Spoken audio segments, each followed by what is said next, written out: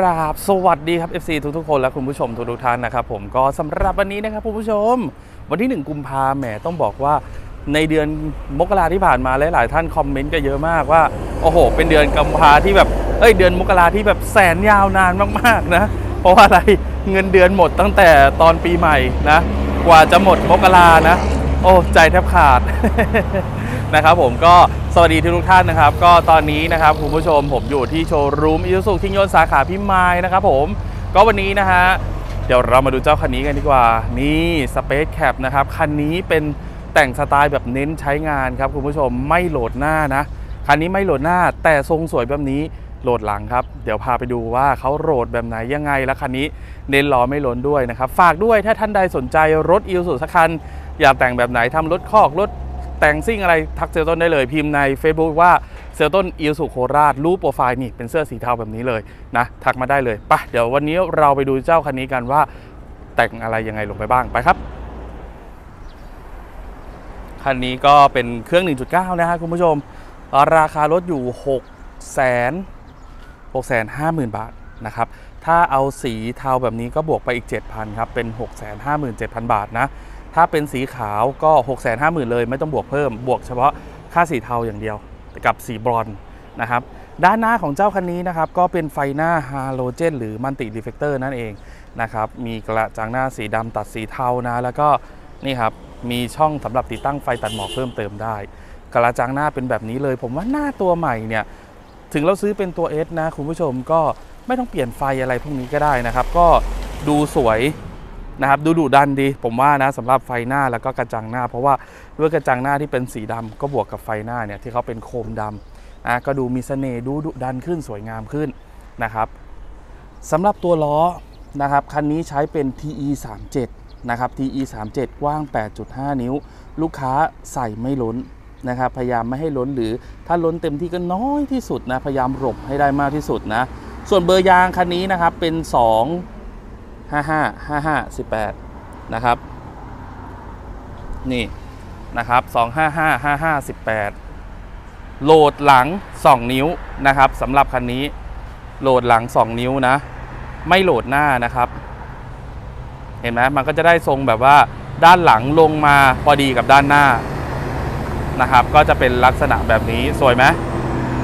เนาะสวยงามดีนะครับคุณผู้ชมทรงแบบนี้ก็ ต้องบอกว่าใครที่อยากเน้น step ไว้ใช้งานนะครับ ก็สามารถที่จะทำแบบนี้ได้เลยนะครับ แล้วก็เบอร์ยางหนาๆแบบนี้ขับรูดหลุมรูดคอสะพานนี่ก็ได้นะครับ ไม่ไม่มีผลต่อการใช้งานเลยถ้าโหลดประมาณนี้ เพราะว่าหนึ่งเลยยางหนาด้วยนะครับ แล้วก็โหลดหลังอย่างเดียว ด้านหน้านี่ก็องศาลูกหมาก องศาปีกนก ยังเป็นองศาเดิมอยู่นะครับ ลูกค้าก็ใส่น็อตแดงครอบดิสแดง ฝาดุมแดงให้เข้ากับตัวโลโก้ ตัวหนังสือของตัวล้อแม็กสีแดงนะครับสำหรับเกรดตัว X เนี่ยต้องบอกว่าในยุคปัจจุบันเนี่ยเขาก็พัฒนามาน่าใช้ขึ้นมากเรื่อยๆนะครับนี่อย่างดูดีไซน์กระจกมองข้างสีเดียวกับตัวรถ มีไฟเลี้ยวตรงแก้มนะครับมือเปิดสีดำนะครับซึ่งมือเปิดเนี่ยต้องบอกว่าสำหรับคันนี้ผมว่านะถ้าจะไม่ครอบโครเมียมก็ได้นะสำหรับใครที่ชอบแสงสไตล์ดำๆเนี่ยเพราะว่ามันก็เข้ากับล้อแม็กดี แต่ถ้าจะครอบโครเมียมก็ครอบได้ครับ ไม่แพง 200 กว่าบาทนะ แถมให้ได้นะ นี่สำหรับไฟท้ายนะครับคุณผู้ชมก็เป็นหลอดไส้หลอดฮาโลเจนนะครับ ไฟท้ายไฟเลี้ยวไฟถอยนะครับ แล้วก็นี่ฝาท้ายนะครับ ก็จะเป็นสันนูนตั้งประมาณนี้แบบนี้เลยนะครับมือเปิดฝาท้ายเป็นสีดำนะครับ มีกล้องมองหลังมาให้นะครับ เรียบร้อยทั้งหมดนะ สวยงาม สวยไหม นี่ครับคือตัวใหม่นะครับก็ก็จะมีการดีไซน์รูปลักษณ์ต่างๆ รูปทรงต่างๆ ให้ออกมาดูสวยงามขึ้น มีไฟเบรกตรงที่ 3 ให้นะครับสำหรับเกรดตัว S ส่วนภายในเนี่ยต้องบอกว่าน่าใช้งานมากขึ้นนะครับภายในของเจ้าเกรดตัว S นะคุณผู้ชม มีจอมีกล้องถอยมาให้แล้วนะครับมีจอมีกล้องถอยอันนี้นะ ใช้งานสะดวกขึ้นเพราะว่าในการเชื่อมต่อ Android Auto หรือ Apple CarPlay สำหรับตัวจอเนี่ย นะครับไม่ต้องเสียบสาย